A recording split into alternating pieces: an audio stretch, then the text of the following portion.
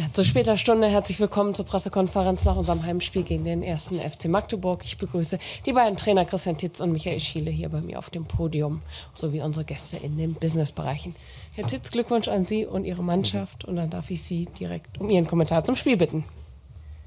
Tja, war, eine, war ein Spiel, was wir so in der ersten zweiten Halbzeit ein Stück weg geglaubt haben, es könnte so kommen. Erste Halbzeit war es, haben, haben wir eine gute Spielkontrolle gehabt, waren sehr geduldig, waren vor allen Dingen in der Konterabsicherung sehr gut drin, haben immer nach Ballverlusten auch den, Geg den Gegner direkt ins Gegenpressing verwickelt. Das sieht man auch jetzt noch in der, in der Endnote, das haben wir jetzt wirklich seit Wochen, dass wir eine enorm hohe Zweikampfzahl gewinnen, was wichtig war. Kommen raus, wussten, dass wir selbst sehr schnell umstellen mussten, weil wir zwei, drei Spiele in Reihen hatten, wo, wo klar war, das geht heute nicht über die Spielzeit.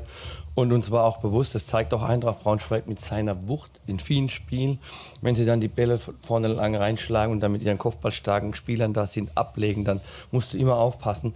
Aber das finde ich, haben wir heute, haben wir heute sehr gut verteidigt mit, mit, mit Jamie Lawrence und Daniel Heber und Daniel Fadli haben wir viel in der Luft weggeholt musstest immer aufpassen, dass man nicht, dass man kein Ball durchgeht. Trotzdem hatten wir aber auch in der, in der zweiten Halbzeit einmal Glück, wo, wo Braunschweig eine gute Chance hatte, aber wir selbst hatten noch mal drei weitere gute Möglichkeiten, wo wir auch noch ein Tor erzielen konnten.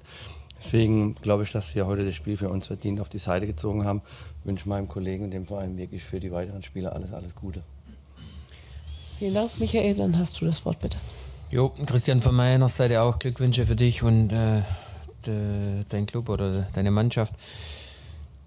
Ja, äh, mussten viel, viel arbeiten in der ersten Halbzeit. Der Gegner natürlich super äh, im Ballbesitz gewesen, viele Positionswechsel, dann nur Torwart immer hoch rein. Es ist schwer, läufst du an, kriegst du vielleicht hinten auch, äh, wollen sie dich ja auch rauslocken und dann gehen hinten die Räume aus. Ich glaube, da waren wir nicht so mutig, dann auch nach vorne schieben, dass wir Multauber ein bisschen höher äh, schieben wollten. Das hat nicht so auf der rechten Seite, das hat nicht so funktioniert, was in der zweiten Halbzeit dann anders war. Äh, das, das Tor war natürlich, wussten wir auch, dass da viele Haken, viele Innendribblings dann auch vom Gegner stattfinden, wo sie dann äh, reinschieben. Ähm, Quarteng und ja, in der zweiten Halbzeit sind wir, glaube ich, schon auch oder in der ersten Halbzeit muss ich noch dazu sagen, wir hatten schon auch unsere Ballbes äh, Ballgewinne auch, aber es war so leider Top-Gegenpressing vom Gegner. Wir hatten dann, äh, sind in Triplings gegangen, wo wir dann wieder die Bälle verloren hatten, äh, aber so der Pass ist dann nicht gekommen oder, oder dann falsch mal eher nochmal eine Steig-Klatsch-Option vielleicht zu bieten, anstatt gleich in die Tiefe. Und in der zweiten Halbzeit haben wir schon Druck gemacht auch, haben wir auch äh, die Chancen gehabt. Ich glaube, Utscha sogar zweimal, einmal auf der Linie eine gerettet, einmal Torwart angeschossen, wenn es Anthony auch war. Äh, dann kam leider so ein blöder Pass ins Mittelfeld rein, der unnötig war und dann hat sich, ja, Ito ist super Tor natürlich, äh, in Winkel rein, wo man wo du so nicht halten kannst, wo du dann auch nicht schwer zu verteidigen ist mit dem Innenhaken wieder. Trotzdem haben wir weitergemacht, haben auch nochmal Energie reingebracht ins Spiel mit den äh, Wechseln, haben wir das Tor dann auch, äh, glaube zu dem Zeitpunkt auch äh, verdientermaßen den Anschluss gemacht, aber nicht mehr eins drauflegen können, weil Gegner auch noch einige Chancen gehabt, zwei, drei hochkarätige und am Ende ein verdienter Sieg äh, auch für Magdeburg, was uns natürlich, ja, ist natürlich sehr, sehr schade und wir wollten auch punkten und schade, dass es letztendlich dann nicht zu einem Punkt dann vielleicht auch gereicht hat. Danke euch auch, alles Gute und. Gibt es, vielen Dank, gibt es Fragen an die beiden Trainer? Dann bitte ich um ein kurzes Handzeichen. Leo Hartmann von der Braunschweiger Zeitung, Mikros unterwegs. Ähm, warum ist es euch diesmal im, vor allem nach dem 1-2 nicht so richtig gelungen, noch so permanenten Druck aufzubauen? Also das hattet ihr in den Heimspielen vorher schon immer mal geschafft, auch, auch größere Phasen und jetzt heute aber gar nicht so sehr. Woran, woran lag das? Ja, ich glaube, waren wir auch ein bisschen äh, unruhiger, haben wir viel zu, zu oft lang gespielt, sind wir nicht mehr so über unsere über Seiten gekommen, auch äh, äh über vielleicht unsere rechte Seite auch, äh, haben die Bälle zu spät reingebracht, weil haben auch in der ersten Halbzeit ge gesehen, wenn wir dann die Bälle reinbringen, oder so wie es auch äh, beim Tor dann war, wenn wir die Bälle in die Box kontrollierter reinbekommen, dann war es auch, äh, ist auch gefährlich worden oder nach dem Einwurf mal, wo leider der Ball dann, boah, weiß ich gar nicht, ob er durch ins 16 ist. Kaufmann ist nochmal durch, wo er in Rückraum spielt, muss er eigentlich nur hinter die Kette spielen oder so quer spielen. Da ist Utscha wieder am langen Pfosten und es waren dann die Entscheidungen waren nicht so gut. Wir hatten ja auch zwei, drei gegen zwei Situationen in der zweiten Halbzeit, wo Ferrei dann nicht die richtige Entscheidung oder die falsche Entscheidung trifft, äh, in den Mann reinspielt, einmal den Ball verliert und ja, Gegner hat dann auch viel, viel mit, äh, wir haben mehr Fouls hätte ich gar nicht gedacht, ähm, aber auch viele, viele gute Fouls für sich gemacht, äh, wo wir dann auch schon weg waren. Und vielleicht sind wir wegen dem nicht mehr reingekommen. So. Oder den Druck entfachen können. Dann hatte sich die Kollegin von der Bildzeitung gemeldet, hinten in der letzten Reihe. Herr Tietz, wie geht es denn den Tatsuya Ito?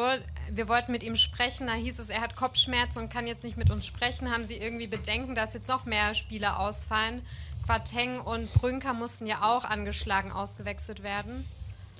Bei Tatsu war es, der hat einen, der hat einen Schlag an, an, an die Schläfe am, am, Auge bekommen und das ging kurz zu und ihm war es dann auch gerade schlecht, aber jetzt sieht es schon wieder deutlich besser aus, als nachdem er jetzt unten war. Und bei, bei, bei Kai ist es ganz normal da fehlt einfach die, die, diese absolute Fitness. Da wissen wir, da brauchen wir noch einige Wochen. Und bei Momova ist das immer momentan so, dass, dass wie er zurückgekommen ist, dass wir wissen, da, das kann immer mal wieder zugehen. Das ist auch passiert, dass, der, da, dass bei ihm wieder zugegangen ist. Aber der wird jetzt behandelt die Tage und dann sind wir guter Dinge, dass wir das bis zum Heimspiel hinbekommen.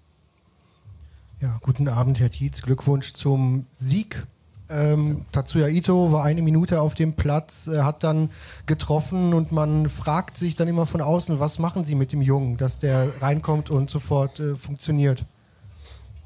Also es macht übrigens er mit seiner Qualität. Ich habe das ja schon mal betont.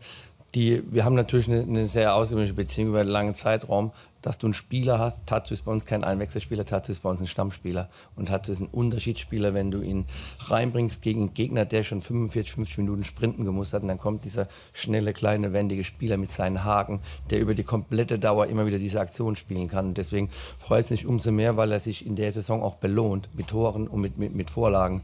Und das war natürlich auch ein Stück weit Glück, dass der so gut reingeht. Aber wenn man tatsächlich im Training gesehen hat, weil das trainiert, der ist wirklich ganz konzentriert und ganz konsequent, war es jetzt kein Zufall, dass er in die lange Ecke schießt. Also es freut mich für ihn und auch für uns als Team, dass wir den Spieler bei uns rein haben, der uns dann so hilft auch. Ihr Trainerkollege wurde vor dem Spiel mit dem Restprogramm von Braunschweig äh, konfrontiert. Sie schauen natürlich immer von Spiel zu Spiel, das ist klar. Aber wie sehen Sie jetzt die letzten Wochen für den FCM? Jetzt kommt der große HSV, dann geht es auch noch gegen Heidenheim, Darmstadt. Äh, das sind noch sehr interessante Wochen jetzt für den FCM. Also oder? Sie wissen ja wirklich, dass ich nicht ganz so weit schauen will, aber ich kann Ihnen sagen, dass es Spiele sind, auf die wir uns freuen. Spiele, wo wir gegen Mannschaften kommen, die auch gewinnen müssen die, äh, die auch ihrerseits mit, mit dem Ball versuchen wollen, Spiele, Akzente zu setzen. Deswegen werden es interessante Spiele, weil es für uns auch ganz andere Räume gibt. Aber jetzt zunächst beim Heimspiel, da, das wird eine Partie, wissen, wir kommen auf eine sehr spielstarke Mannschaft und da freuen wir uns drauf. Schauen nochmal in die Runde. Gibt es weitere Fragen an die beiden Trainer? Das scheint nicht mehr der Fall zu sein. Dann unseren Gästen einen guten und sicheren Heimweg und Ihnen allen ein schönes Wochenende.